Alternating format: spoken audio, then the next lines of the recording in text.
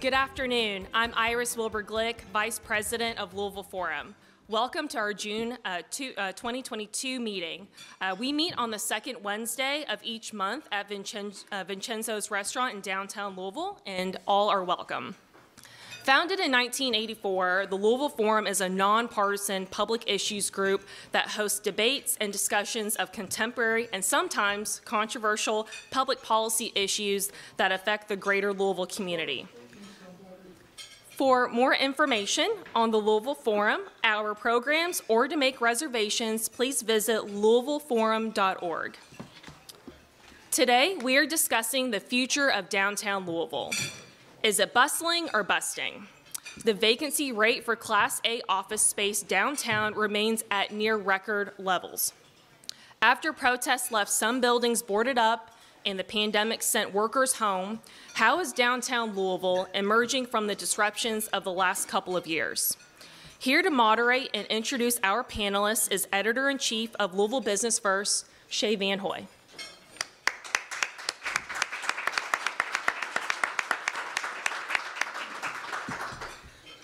Thanks, Iris and Louisville Forum. I'm happy to be here, uh, filling in and guest moderating today. Uh, I'll also uh, talking about windows boarded up. Some good news from across the street. We're in Meidinger Tower that the uh, boards that were back on CBS are now off again. So we've got glass and less less boards downtown. So uh, so that's your news update from today uh, you know, we have a great panel today that Louisville Forum has assembled. Uh, any discussion, I'll start by saying we'll uh, the downtown workforce has to include Humana, Louisville's largest employer. Uh, we're joined today by Humana's Brad Keller, who's Associate Vice President, Space Planning and Strategy. What does Nashville-based SomeraRoad like about downtown Louisville that it decided to not only purchase the former PNC Plaza skyscraper for $22.5 million, but invest another 16 million in renovations for the now renamed 500 West office tower? Well, well, sorry, we'll hear from SomeraRoad's Vice President for Acquisitions, Andrew Marchetti. And we'll start our opening mark, remarks with a person whose job is to advocate for downtown economic growth, enhancements, and appeal. Rebecca Fleischaker became Executive Director of the Louisville Downtown Partnership in November. Uh, so now we'll start with opening remarks for a couple of minutes each. Uh, Rebecca, okay. we'll go with you. Uh, good afternoon. Good to be with you. Can you hear me? Can everyone hear me? Okay. Hold on, rearranging the table. Is this better? Better? Better? Better? Okay. I can hear an echo now. Okay, thank you. Um, so I started in December, not that that's much difference, but I've been on the job for about five and a half months. And um, one of the reasons I really, really wanted this job in the first place is because for downtown to be vibrant, we need people. People make the vibrancy.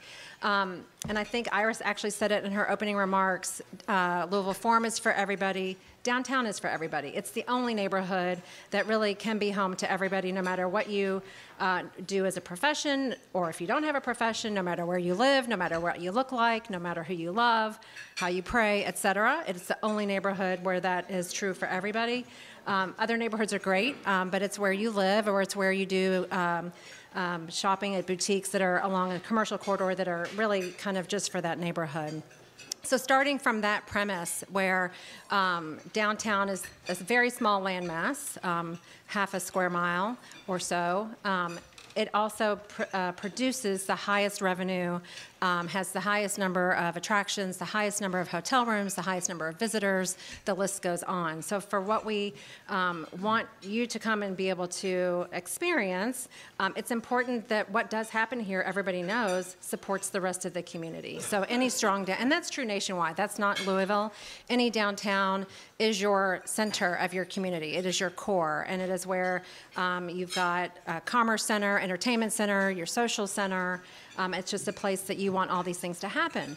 So coming out of COVID um, and social protests, it was an interesting time to take this job.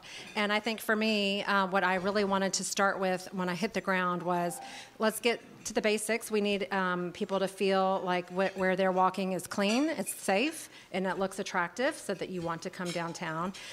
and I'm working on a couple of special um, projects that, to, that will hopefully increase more people in downtown. So housing is really important. I know that will come up later. Um, and then the other, the last thing is I really want there to be more positivity about downtown. When you start your conversation off about, in a negative way about your own center city, that's contagious. And if you can flip that script a little bit and talk about the good things that are happening in downtown that we can share together, and hopefully that you're here because you want to hear about good things in your downtown, that that's contagious too. And I think we just need to be able to put a smile on what we're doing. Yes, there are things that happen that aren't um, ideal. That's in any big city, you're going to have that. But how do we react to that, and how do we um, work together to promote it and be able to bring people together as a community, as a society, no matter how different we are, that we can enjoy our time together? Thanks, Rebecca. Uh, Andrew, up, you're up next. Perfect. Hi, everyone. Thank you for joining us today. Uh, as Shea mentioned, my name is Andrew Marchetti. I'm a Vice President of Acquisitions and Development for SomeraRoad. Uh, Road is based in Nashville and in New York, and we are invested in over 50 markets across the country, and over the last five years, invested over $2.5 billion in real estate across those markets, uh, many of which is, is, uh, is part of the office sector. Um, one of those assets is 500 West Jefferson that we purchased about 18 months ago, and we are uh, nearing completion on a $16 million renovation project that includes a total remodel to the lobby uh, and doubling its size, a barista shop included in that for pedestrians and the public, uh, and a full floor of amenities that includes a rooftop terrace. So excited to uh, to join our panelists up here. I think we have great perspectives from all, all you know all different sectors, and uh, and I think that everyone will walk away with you know, a, an interesting take on where we're headed with the office market. This is obviously a unique time, both for office but also for downtowns across the country. Thanks, Andrew. Uh, Brad, how about you? Hey, good afternoon. Make sure we got this. I'm Brad Keller with Humana. I feel like I got to get really close to this microphone. Um, I'm with Humana, I've been with Humana for about 10 years and get to be a part of our uh, workplace solutions team, which is our corporate real estate group that oversees all of our properties um, and buildings across the country. As most of you know, Humana has been a long, uh, long time business in Louisville. We're also, we employ about 12,000 uh, employees here in Louisville. This is our hometown. This is my hometown, also grew up here. Uh, so it's been exciting to be a part of the transformation that we've had in a lot of our buildings up and down Main Street um, and across the city. So we see our associates really changing throughout this pandemic, working remotely for the past couple years, and now we're starting to embrace them back into our buildings, um, getting back together much like this today, uh, being able to have meetings in person together uh, and collaborate together. So happy to share today. Cool, thanks. Uh, the fir- I was going to start with the first question, then obviously uh, as many audience questions as we can get uh, would be great. Uh, you know, uh, in my role, we get lots of emails, lots of feedback on stories you write, and I think that, you know, one narrative that we've heard without really much evidence is that downtown is unsafe, and think it's said a lot of times by maybe people that don't come downtown or never came downtown. Um, but Rebecca men- mentioned positivity and, and us as people who do come downtown spreading that word. So um, I'll kick this off with you, Rebecca. Um, you know, how, what can we do, what can all of us do to kind of uh, flip that narrative and, and get people coming back town, either, either coming back to the office more, visiting, going to concerts, plays, museums, that sort of thing? That's a great question. It's a big one. Um, so, number one, I would love to be able to share data that shows the Central Business District's crime stats. It is not um, that high. And I think that people confuse or call downtown different things. It does it doesn't have any hard defined boundary. The central business district, in my mind, is not what some people think of as the greater downtown area. So I think that's a really um, uh, a really nice delineation for space that you're talking about. Um, I do think that people who um, sometimes say they don't feel safe, sometimes it's a, a matter of comfort. So things might look different uh, downtown than they do in your neighborhood or different or across a different commercial corridor. And if you're not comfortable, does it actually mean you're not safe? So there's something that we need to look within. What's the difference? Uh, because I think that's just something to pay attention to. Um, I also think that more people on the street, actually, this is proven, it's not just that Rebecca thinks so, more people on the street means more safety. So the more people that come downtown, we're kind of building our own uh, future state of how we want downtown to be. It just is less people can get away with not very good behavior if there are more people on the street. It's just kind of the way uh, human behavior is. one of the reasons I want to increase the number of our ambassadors on the street is because you have more feet and eyeballs on the street that will really help um, people feel comfortable and also know that if somebody's in a uniform, that maybe some unwanted behavior could be could be stymied. So our team works on um, creating that clean, safe environment for you. And I also think that if you're coming downtown and there's more people that are coming downtown around you, that you're going to feel safer. So evenings and weekends, um, if you've been downtown, please do come downtown. By the way, there are shows at Kentucky Center Actors Theater, ball games, soccer, ba- uh, baseball.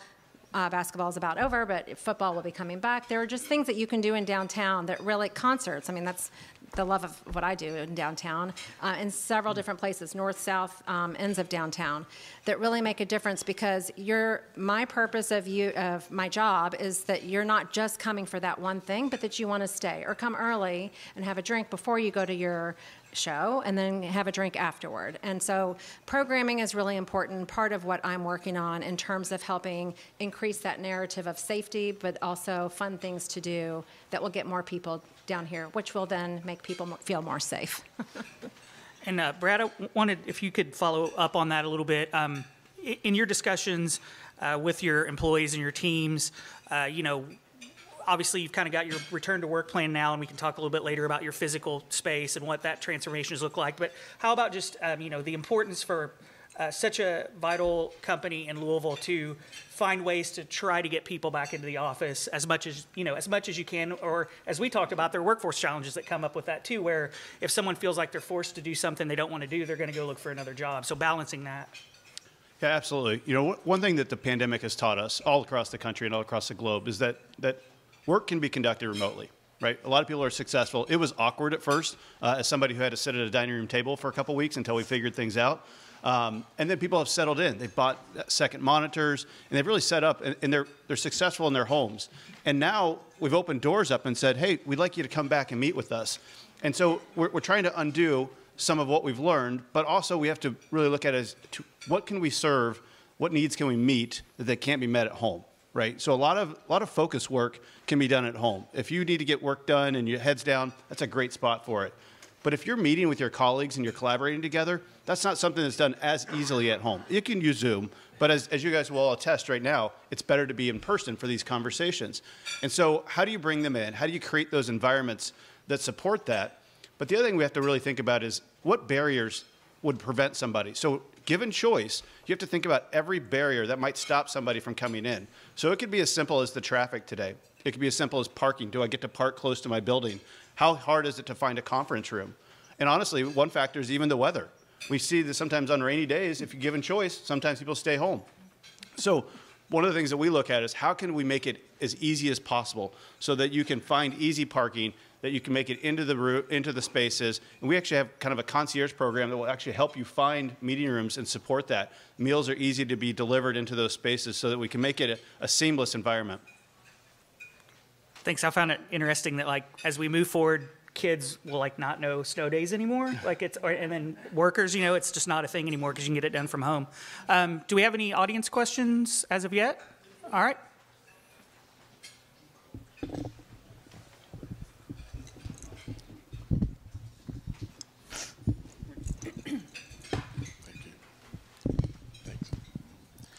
Uh, this this question is directed to Rebecca Fleischaker.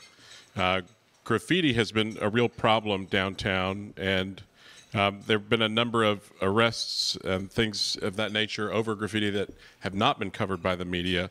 What is the city doing to stop the graffiti that's happening in our downtown? Okay, well, first, uh, Louisville Downtown Partnership is not city government, but we do work very closely together, so I'm happy to answer the question, but I do feel like I need to make that distinction. Um, we, our ambassadors do clean up graffiti in the public right of way. That is something that is our job. We are helping provide that service in addition to uh, graffiti service from the city. So codes and regs, you pay taxes to have graffiti abated. They can't get to everything. We want there to be downtown, special eyes on downtown and to be cleaner, so we do do that. Uh, the problem is uh, when there weren't as many people on the streets, that there was more of this kind of activity, there was more freedom for that kind of behavior. So we were trying to, A, this is another reason we want more people on the streets. You just, you see a lessening of that kind of behavior. Excuse me. Um, we are very happy that arrests have been made. I will tell you right now, if you've seen the word bloke anywhere, um, and it's been a lot of places, he did get arrested, which was very good news. Uh, and I wish would have made bigger news because I, I think he was he was a well-known um, graffiti artist. Um, so we are there's not a lot of tools that we can do. We try to clean it so that it is it discourages more of it. Um, we try to help private property owners if it does appear on their properties uh, with painting it. So we would ask the property owner to buy the paint, get the permission for our folks to touch their property, and we will go and paint it. Um, if it's a matter of matching the paint color, we don't do that. The property owner would do that. But we are trying to let people know that we're here to help do that because the faster you address it, the, the less it is repeated. Um, and then just, we don't have enough police to be on it as a detective to follow each incidents, And the big one that was uh, um, in the news over the weekend uh, at Myers Lofts on Broadway at Brook Street, I think, um, that one is, was done from the expressway. So they, they stop, spray, and then drive on, and it's really hard to catch.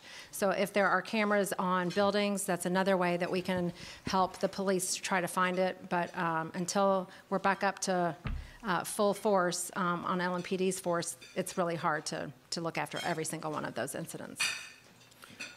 Thanks, Rebecca. Uh, Andrew, I didn't want to get too far down the line before talking some about office space, obviously vitally important to the economy downtown and the foot traffic that, that uh, Rebecca and, and Brad have talked about. Um, You know, what interest, uh, interested SomeraRoad about 500 West Jefferson? And then also, could you give us maybe a broader look at, uh, you know, what kind of the downtown uh, office space, Class A space is right now?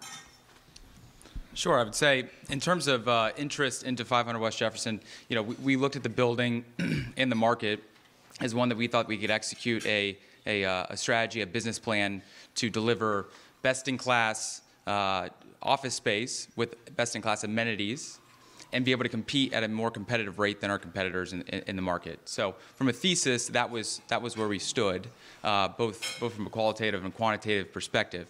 But that we always look at it as if they build it, uh, if we build it, they will come, right? So we, we it, it's up to us to give companies a reason to be downtown, to be at 500 West. Uh, as I mentioned earlier, we're you know, nearing completion of our renovation project. So uh, you know, we're, we're excited about the future for the building and also with downtown. We think that it can not, not only attract companies from the suburbs, but from other markets that are looking at you know, various cities to, to potentially relocate to or, or add office space to. I'm looking forward to seeing the outdoor patio I know, space I that know. you're going to It'll have be there. great for the summer. We'll throw a big derby Well- party and we'll, we'll invite the forum there next year. Here, my my, my uh, ask is Louisville needs more rooftop attract like rooftop bars, rooftop attractions. So anyway, there's my plug, Rebecca. It's on you. you. You're on it. All right, uh, some more audience questions. We have any more? We have a number of questions from members of the forum wanting to know about, in general, how we compare to other major cities in our region. So, specifically for Mr. Marchetti, since you've uh, lived in Nashville, can you explain what Nashville is doing that we're not to attract downtown business? Uh, what what percentages of those workers are now in Nashville staying home as opposed to coming back to their workplaces downtown? Sure. Um, you know, it's, it's, it's a, you know, I think complex question. Uh, I would say from a state level, they have been very aggressive in uh, you know, corporate relocations and, and investments into companies that are, are coming to Nashville. So when you look at the Amazon uh, relocation or, or HQ2 and the component that's in Nashville, 5,000 jobs. When you look at what Oracle is doing, a regional headquarters, 8,000 jobs. And that's just from those two companies. So there is a you know, multiplier effect, uh, companies that need to be located in and around those to, uh, to also have an impact on the city. So you know, those two alone could turn into 20, 22,000 jobs for, the, for, for Nashville. Um, I would say, you know, for Oracle, they're obviously underway on a, a massive regional headquarters, uh, a decision they've made recently after COVID um, or after you know shutdowns and things of that nature. Uh, so I think that they are they're finding it to be important that people are in the office, collaborating, innovating, and uh, and also I, I feel from a uh, employee perspective uh, a sense of camaraderie. Uh, not only with those you work with, but also with potential mentors of yours, advancing careers. Um, you know, I think everyone has a different take on it, but um, you know, it seems that Oracle finds that to be important for, for future innovation and things of that nature. And Rebecca, would you like to follow up on that a little bit? Just about, you know, there's this constant comparison, but very different cities, um, you know, very different maybe leisure travel uh, targets. So uh, just, I'm sure you hear it a lot and Yeah. probably would like to share on it. Sadly, yes. um, and I also think that, um, it, so I used to be uh, chief of Louisville Forward and head of economic development for the city. And what I always used to say, and I probably should still say it often, is economic development begets economic development. So the, it's kind of a self fulfilling prophecy. In Nashville, 20, 30 years ago when HCA located there, it just changed the whole trajectory of corporate relocations and attractions. And what's happened is because you start to get this uh, really exciting city, city center, is that other people want to be a part of that. So how can we activate our downtown and have a nice balance of tourism, businesses, residents that creates that same kind of energy that attracts more? So it really is um, you're creating now what you want it to be more of. So Nashville's much bigger than us. Um, they also, I will say on the other side, which gives us a little comfort, is that their cost of living has gone through the roof. Housing is very expensive. Uh, transportation has gotten much more difficult because of it. So in Louisville, we can plan for that. We are built in much uh, infrastructure-wise in a much better way than Nashville was. Um, and so we still compete with them because it's easier to live here. So if we can talk about that ease of living um, and the choice to be in a navigable um, city where uh, public officials are accessible, where you can make a difference in your community, I still think that this is a very um, smart choice and a great place to be.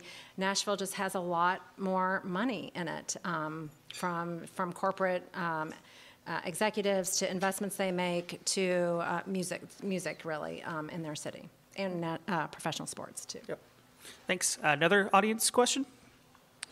Uh, members of the forum would like to know um, what is our crime rate in Louisville like compared to Nashville, uh, Indianapolis, Cincinnati, and and specifically the one one question was about the murder rate in Louisville compared to other cities in the region.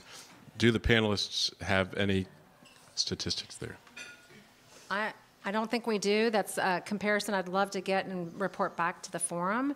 Um, in, in bigger cities, your, your crime rate's going to be higher, uh, generally speaking, but I think that's some, a good comparison that we can look at. And do you mean like the whole city? Whoever asked, is that the whole city or downtown? Well, specific to downtown. Okay, yeah, I'll, uh, I will talk to Chief Shields and get some information.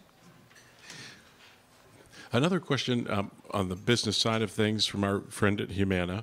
What is Humana's uh, long-term plan in investing in the downtown real estate space? Uh, it's a good question. We've been in this market for quite a long time, as you as you know, building this building uh, behind us in 1985, um, and we continue to invest in our spaces. I think one of the upcoming questions, not that I was peeking at the list here over my shoulder, but is about some of our investments we've made. So I'll go there quickly. Uh, we we have just finished two really exciting. By the way, a plug for uh, Business First. If you pick up uh, Business First this week, right? Uh, online well, anyhow. Online for, so yeah. online, you'll see all the photos of the, these investments. Uh, we just finished two major renovations for us that really went throughout the pandemic. We took the opportunity to do some major construction uh, and major investments in our buildings. Uh, honestly, it's easier to um, do HVAC and elevator upgrades when the buildings are empty. So we took advantage of a lot of that downtime uh, to do some long overdue maintenance as well as some big renovations. So in the building just behind us and actually right above us, uh, literally, uh, we did a major renovation for a meeting center, which I was up there this morning. It's full. Um, and then down the street in our waterside building, uh, which many of you know, the big box down the street by the park, uh, we did two full floors there, which is almost 100,000 square feet of renovation. Um, so our commitment is to these buildings and to the environment. Again, with over 12,000 employees here, we really want to create a space where, where people can gather and collaborate together. Um, but that said, we, we are rethinking the office space. It's no, no longer the environment of um, a requirement to come in and sit in a seat uh, 40 hours a week. Oftentimes now we're supporting a remote first, where people are coming in and using these spaces as um, alternate spaces to, to work. Um, oftentimes you may have internet issues, or uh, if you're like me, guest at your house and you want to get away, uh, come into the office and work, um, as well as just meet with your team, meet with your, your peers together. And uh, just a quick follow-up, what's your favorite, like, physical aspect of the renovation? Well, I, I will say, just it's timely.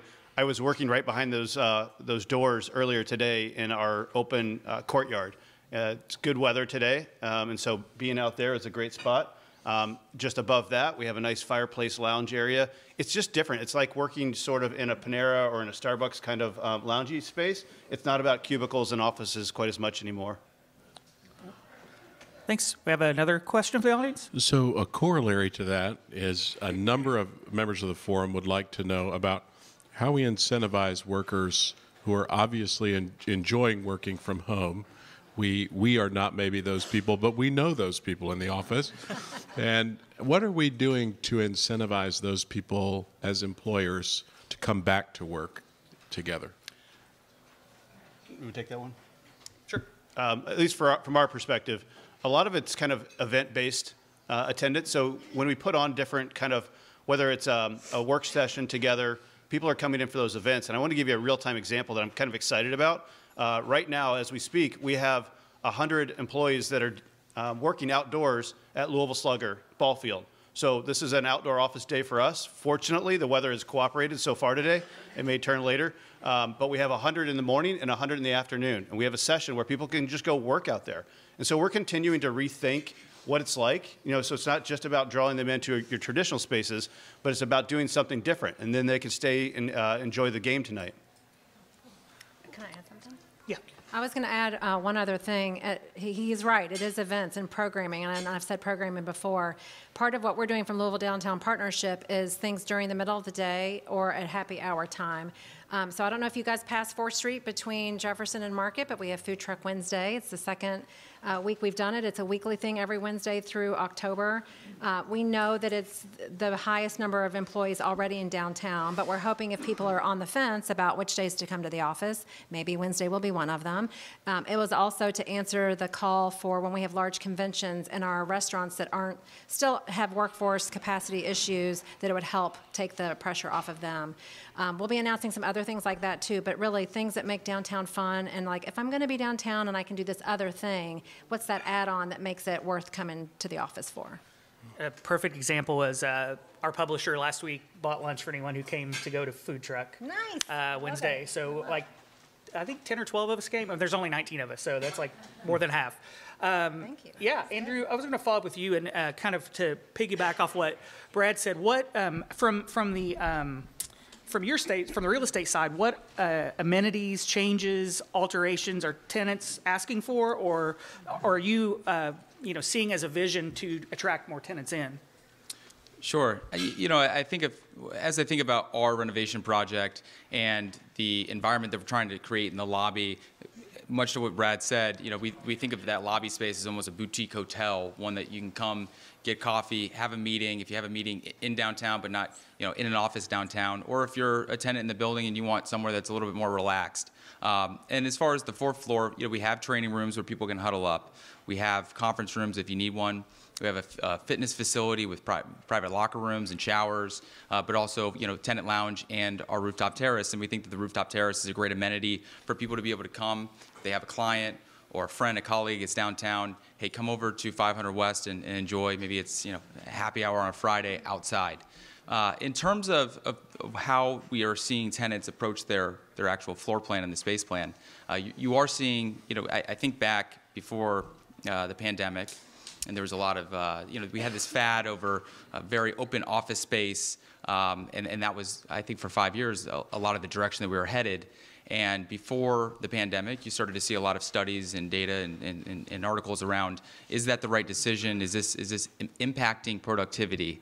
Uh, we didn't get to see how that ended up playing out because the pandemic, uh, of course, took over. But, uh, you know, I, I, we are seeing, you know, RW Baird, for example, just did a massive renovation to five floors of the building, uh, interior offices, uh, making sure that open air, that light, all natural light can flow through and, and, and be there for employees that don't have an office space, um, and with plenty of meeting rooms. So this is a place where they want to collaborate, uh, look at the wellness and health of their employees, um, and it's not so much as open format, uh, but places that people can gather, huddle up, in a more you know eh, natural light area for, for employees. And I think that that trend will, will continue. Great. Uh, another question from the audience? There have been a number of questions that hover around the same theme that you're picking up on, which is quality of space for employees downtown. So one question that just came in is on daycare. There have been another uh, a number of questions about providing affordable housing that's closer to downtown so people can get here. Comments from the panelists, any of them, on how we influence quality of care down, quality of experience downtown. Okay, I'll start. Um, so, one of the things that we really want to look at, and this is not just LDP, this really has to be everybody.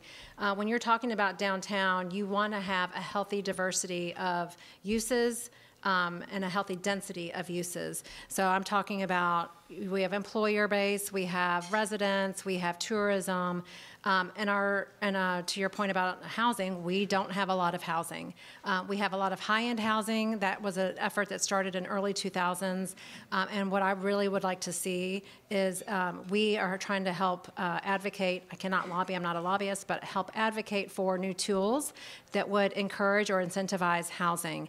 We know that we've got some underutilized uh, mid-rise office buildings that can be turned over pretty easily, not like office towers, that could be housing. And how can we create tools that would help a developer close their gap on their financials, their capital stack? Uh, we're working on some tools that Ohio has, and we're trying to copy them in Kentucky. Um, I'll give you all information to go talk to your legislators when it's time, but it is something that we have to take through the state to, to do. Um, and I think that having that mix of uses, daycare is one of them, um, is something that's going to get, and I keep saying it, more feet on the street. These uses, the diversity of uses and the density of uses means more people will be here um, using these things, living here, um, being walking around, notice things, and hopefully make a much more vibrant, uh, safe quality of space. Um, that's indoor space. Uh, I think daycare um, is, there could be a wellness center or something like that. We did ask for um, ARP funds for that kind of uh, conversion of space. I'm still waiting on that, and I see Councilman Piagentini, no pressure, uh, in the audience. Um, that's something that I think a lot of cities have looked at is how you can um, convert your office space into something else. Uh, external spaces, public spaces, I think is really important too, because when you're walking on the street, um, you want to be uh, you want to be in a nice area. You want to feel like it's taken care of and tended to. Uh, so we've started with banners and flowers, and we're going to move into some public art projects as well.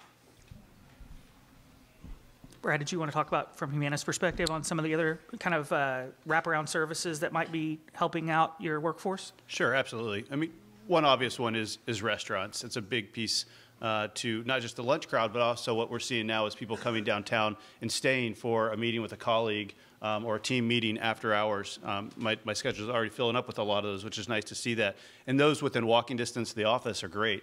Um, another one that, that I you might, might find humorous here, and bear with me on this one, is um, honestly the, the one tether that keeps people at home is pets the number of people that have adopted pets um, and or grown very used to their, their pets that they had before, um, there's, we call it pet separation anxiety. Um, and people, you know, are, are, accustomed to their, their, their dogs, their cats, or their animals. And so, honestly, uh, it, that's a hard one to solve, but where there's capabilities and amenities for that too, it kind of falls into that child care, um, pet care kind of issue. We all need our Zoom support cat or dog for those meetings. Uh, another question from the audience? Well, one follow up to that, and a specific for all the panelists, and probably for Rebecca specifically, a complex question. What do we do about grocery stores in this space? Oh. Uh, so in my prior life, I worked on grocery stores quite a bit, um, and we are still uh, wanting to have one in downtown in my in my new role. It is such a low profit margin. It is a very hard business. Um, and to get the size right, so in an urban setting, you have to have not too big, not too small, that they can make money, but that doesn't take up too much physical land, um, and you want to be able to have parking. So we are still, we're talking to some developers if that can be a part of their project. Uh, I think uh, we need one in downtown, and it's going to be a matter of uh, I think incentives because we know that no grocer is going to or operator is going to go anywhere without um, some help for the first couple of years for operations. It's just really expensive to get started. So we'll see if we can get anywhere. Um, but I mean, the city has had uh, money in its budget for two and a half years for a grocery, and it's, it's been really hard to be able to get um, someone to, to do that. So it's not without trying. I do just want to repeat that uh, we've been at it for, since 2018, and it's just hard work. Other question? The next question for our panelists Any advice that you would give to our next mayor on improving downtown? I'm going to let you all go first. Uh, I, I would say be outspoken about what's happening downtown, the investments that are being made, and you know I, I do feel that there's a little bit of uh, confirmation bias as it relates to, to safety or, or what is happening downtown. If you see something um, that that uh, you know with respect to safety that leads you to believe that downtown may not be safe, that's going to uh, to play a role in that confirmation bias where you're going to go home, maybe tell your colleagues, your friends that downtown is not safe. You know, I don't feel personally that that is is the case. Uh, you know, 500 West Jefferson is located directly next to Jefferson Square Park. Looks beautiful. It's a beautiful weather day, and and, and you know, it, it really does look uh, remarkably better than it did several years back. Um, but I, I, you know, I'd say be outspoken about what's happening. You're, you're seeing Angels Envy with a second renovation of their project. You're seeing Churchill Downs come to downtown and, and, deliver another destination for the market. You're seeing U of L with a campus that they recently announced in downtown. So these are all things that we can celebrate. Uh, these are companies that are uh, advocating for downtown, and I'd say you, you be that cheerleader that, that really lets people know that downtown is uh, the trajectory is headed up. I would just echo what Andrew said. You know, it's about bringing people down here, and honestly, I'd say keep doing what we're doing. I think a lot of these events are drawing uh, people in. There is a perception that, that there may be unsafe uh, environments downtown. I think it's a misperception. As somebody who's worked down here uh, throughout a lot of the pandemic, feel completely safe. Was down here with my family last night. Um, but I think there's that perception. If you haven't come back downtown for an event uh, recently, you may you may still be stuck with that misperception. And so continue to have a lot of these events and concerts uh, sports and draw uh, a lot of our population, and, and, I think they'll follow. So the workers, once you come down and realize, hey, this is a great place to be. Great new restaurants. I had a teammate the other day that came downtown for the first time in quite a while and was was kind of saddened to see certain restaurants like the Q, uh, where we ate a lot, uh, closed up. But I said, hey, did you look around and see all the new ones that have opened up since then? And so a lot has changed. It's not the downtown that you left in 2020. It's a different downtown now. Any mayoral advice, Rebecca? I don't know that I have advice, but I definitely um, would want the next mayor, and I believe both of them know right now that downtown, and I said this before, is the center of our community and has to be strong for the whole community to be strong. And there is a sense of if we're too provincial and worry about our own neighborhood or our own suburb or wherever it is that you live and go home every night, that it takes away from your core of society and your community. And I don't want to lose that. Uh, shameless plug. Uh, this Friday, our special report is on um, affordable housing, attainable housing, and homelessness, and we ask both of the primary mayoral candidates about their thoughts on those and run the, are running those verbatim. So check those out if you if you want. Well, and that is actually one of the next questions we were going to get to. What can be done about the mental health crisis and homelessness crisis downtown? Downtown, how can we, as a community, come around and fix that problem? I guess that's me again. Um, uh, there are a lot of things, but it takes a lot of money. So we are very lucky that we have ARP money, um, American Rescue Plan money this year. A lot of it has gone to um, upping our outreach um, people that can go and talk to uh, um, people, individuals, homeless individuals in encampments or um, that are on the street.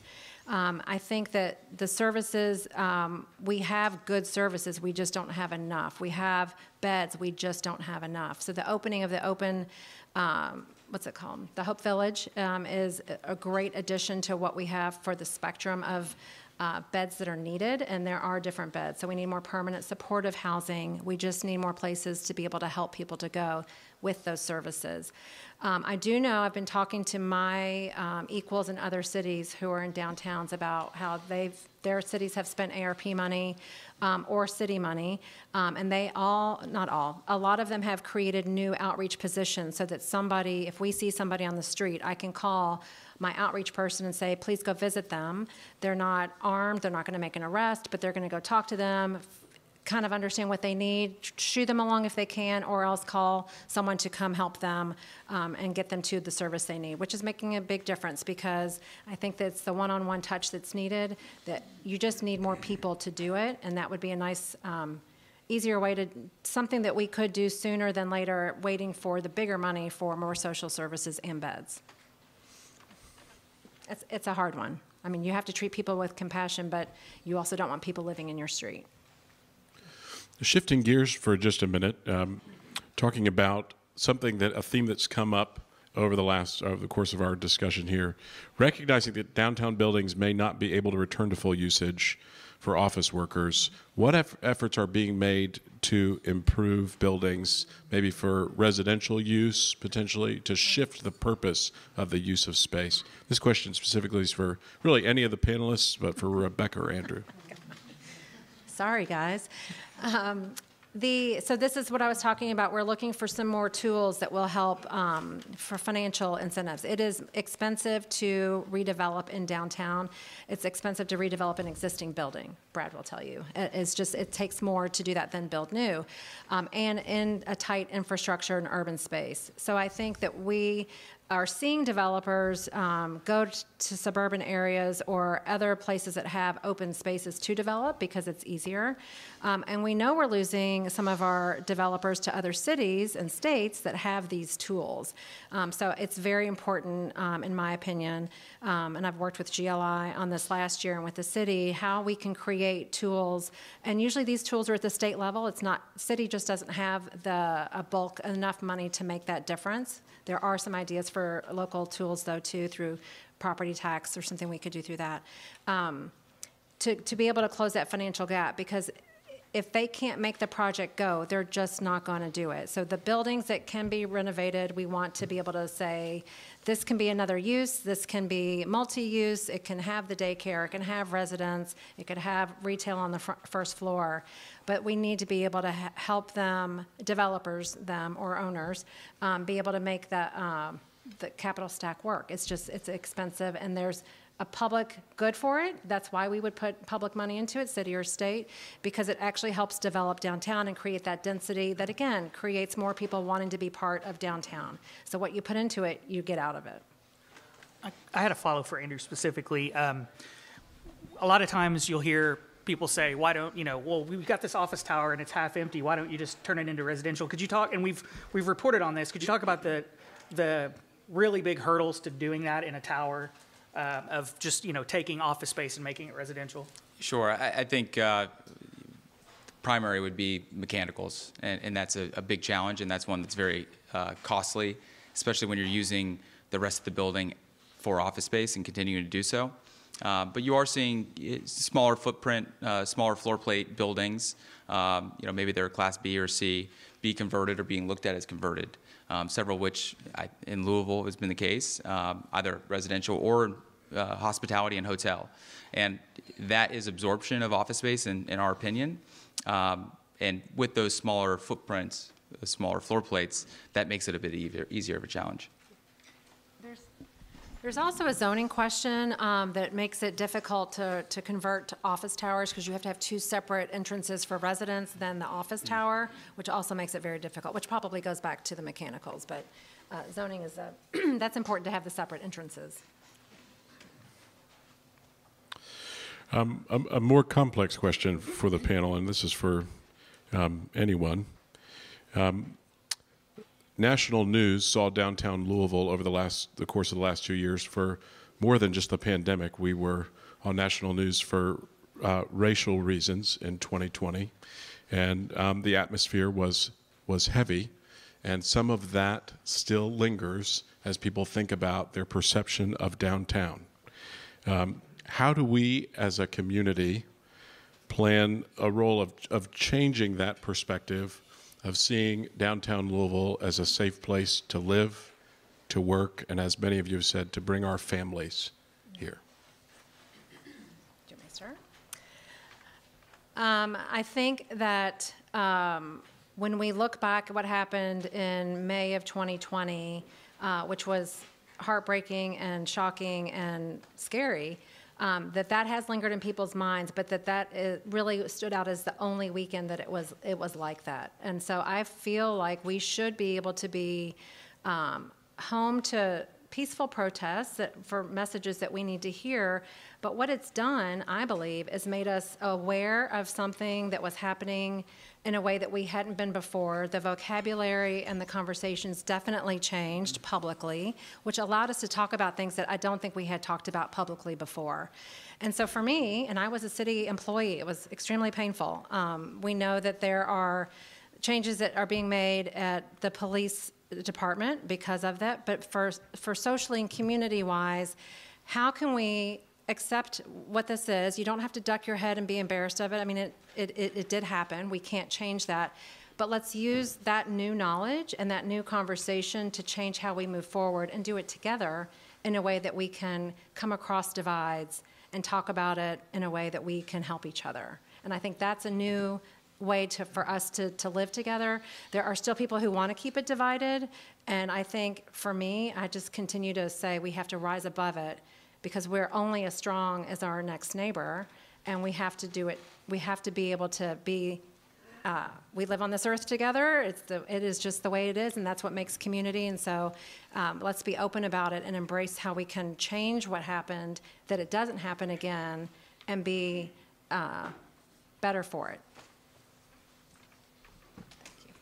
As a, as a quick follow-up, what, what do you think the uh, extension of Waterfront, Waterfront Park West and some plans to kind of knock down, you know, Roy Wilkins, Ninth Street, that divide, um, although some of those close by areas might not be part of the CBD, what could that do to uh, expand the vibrancy? Because it is, you know, if you, you know, if you drive to West Louisville, there is kind of a hard stop there uh, of, of, you know, that four-lane road that's hard to cross if you're on a bike or on a path. And so what could those two things together mean, uh, you know, for the greater kind of downtown area? Well, connectivity is always good. When you're able to connect uh, neighborhoods, uh, even parking lots, properties, anytime that you're able to provide that connectivity, which the park definitely it will be will be doing, I think it makes people curious and will take one step further. So the Ninth Street Divide, that's been called that, is getting a huge makeover. Uh, city's applying for a grant or got money for a grant for to redo that. That's been in the works for a couple of years. That will be huge. I do think, as much as we want from the east to the west to feel connected, we have to let the west feel connected to the east. And the downtown, I've said it before, is a place for all, but that people feel like they can, can they can come. So I feel like that's going to if we can make these things happen, they have to be contagious and more have to happen. And Brad said it. We all are in this together, and we can all bring improvements to uh, the built environment, or your own building, or your even your own household, and how you talk about um, going a place to a place you haven't been before, discovering a new neighborhood that you haven't been before, and it's just going to it will take all of us to do that. And I think, uh, Shea, to your to your point, the the physical connections, and if we can have more of them, will help. On, on the business angle, um, for our largest uh, single tenant downtown for Humana, um, is there something that the city can invest in to better serve Humana and its business operations? Is, is there space that you need in a building, or how can the city partner better with Humana to incentivize workers to return home, back to work? Did I mention pet care? No, sorry. Um, no, I, I think a, a couple things. One, one barrier, as we mentioned before, is parking. Um, and, and, you know, at one point, we occupied 27 different parking garages and structures in downtown. Uh, it's spread out. Um, so parking is somewhat of a, of a barrier when we think about that for our employees. I think the other one, though, is travel. So as, as a company that's headquartered out of here, we often have a lot of travelers that come into the city. And direct connects are always um, the preferred option when you're, when you're pulling in resources. And so the more connect routes, I know we've opened up some new ones recently, um, I think that helps a lot of companies that are currently here and those that are considering coming into the market. We have um, three questions from, from the forum left. Um, there's been a record amount of money, public capital spending, on downtown Louisville. At what point do we acknowledge that some things don't need to be invested in or need to be self sustaining? And where is that line where we stop throwing money at problems that seem to perpetuate themselves? Well, that last part was vague. If whoever wrote that wants to say what that means, I can answer that. But in general, I think um, this comes back down to downtown being so many things for so many people. When you have, uh, it's our front door to the to the entire community, to the entire region. So if somebody's uh, coming in for a convention at the exposition center, there's a good chance they're staying downtown, or will come through downtown for the amenities, bourbon distilleries, experiences, concerts, ball games, et cetera, are downtown. Um, there are different kinds of investments that are made by public, by city and state. Um, I believe there is less need for um, incentives to make a project go like the Omni because there are enough of those projects that have happened that there's that density that's happening. So you have a market. Um, but in terms of infrastructure, nobody else is or should be investing in our roads, sidewalks, light poles, street poles, that kind of thing. Um, and so that should not, I mean, downtown never stops. There's never, it's never done. Uh, and so I do think that there is a public good that comes out of investment in downtown because you always want it to be relevant, you always want it to be vibrant, you always want it to be inviting um, to a lot of different kinds of people.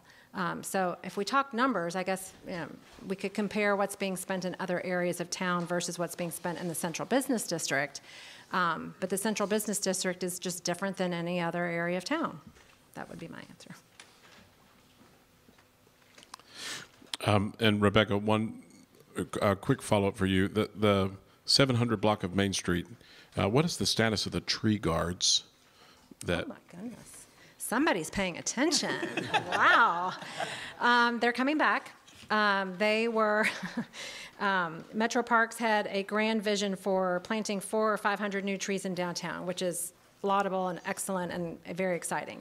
Uh, what didn't happen was conversations with other departments, and we didn't know that this was something that was in their plan to remove all the walking sticks and tree guards.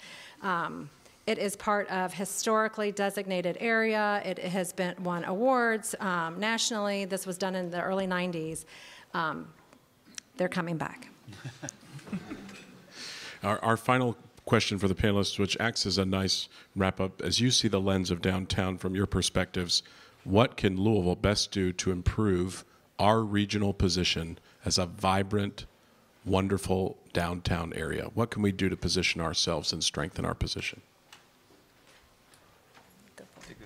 Yep. You know, I would say uh, continuing what we've been what we've been doing, uh, listening to community leaders, business leaders. I think you know what Rebecca's done in five and a half months is remarkable. Uh, really taking the bull by the horns. I'll brag on her for for a second here. She she really has done a remarkable job in a short amount of time. Um, but I I think it's it, it's trying to get people, trying to get companies uh, from potentially the suburbs to come downtown and be a part of this. And I think as you do that, you'll start to create. Look, if you look at a, a uh, live, work, play, stay uh, CBD, you know, stay. You have destinations and you have hotels, so you've got the last two addressed, and we've continued to see development on those destinations and with the hotels. Um, the, the first two, I think, coincide with one another. So it's how do you create an environment that people want to come down and live in and then work in. Um, so, you know, I'd say listening to the business community, listening to community stakeholders, um, and urging people to come from the suburbs, uh, offices to come from the suburbs and be downtown and be a part of the, you know, the, the upward trajectory of downtown. I think we've met a lot of people in the business community that do truly care about C- the CBD and want to be a part of uh, you know, the continued solution of, of creating a, a, a very vibrant CBD. I think it's just continuing with that. Do you want to just go down the line? Sure. Yeah. Uh, there's no one answer. I mean, there's so many things that make up downtown, and you want it to be that way. I mean, again, it's a diversity of density and or di- diversity of uses, and you want that will draw a density.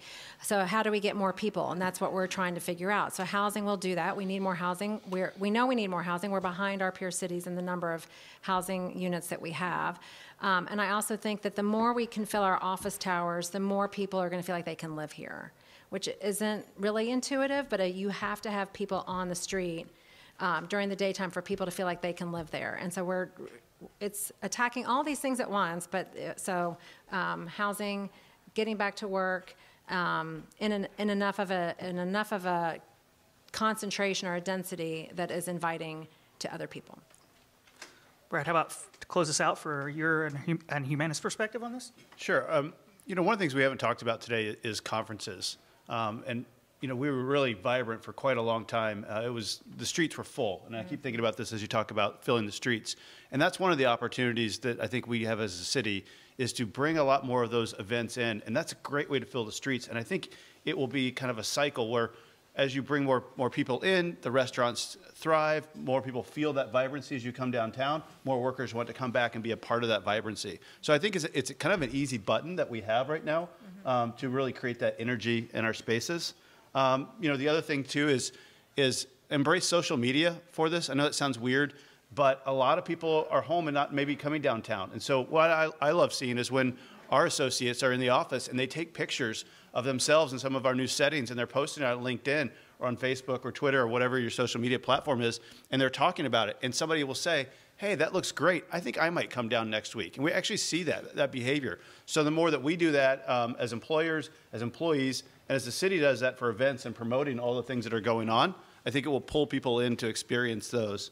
Um, and lastly, I, think, I think Louisville, um, to be honest, is, needs more venue attraction. You know, what is that that pulls you in? What is the thing that says that you tell your neighbors, hey, you got to see this new place that's been built, right? And you're excited to come down and be a part of. I see a lot of cities um, advancing this as we travel and look at new locations. And I, I think we've got a, a lot of great stuff here, but I'm, I'm ready for the next one, right? What's our next big wow space that pulls people in?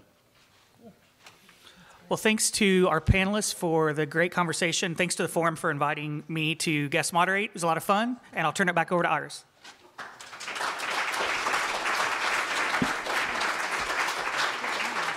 All right. Um, please join me in thanking Shea Van Hoy of Louisville Business First for a great job. Thank you. And, and thanks to all of our panelists for being here today. Great discussion. On behalf of the entire Louisville Forum, uh, thank you all for, for joining us today.